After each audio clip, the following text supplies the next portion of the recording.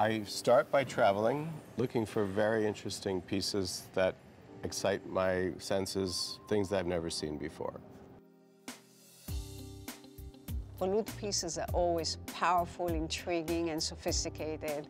And even though they're made of powerful metals, they're never flamboyant. They're always elegant, chic, and contemporary.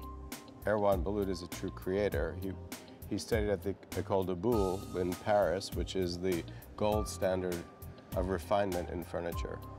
So it, it totally makes sense why his pieces are strong and elegant and harmonious.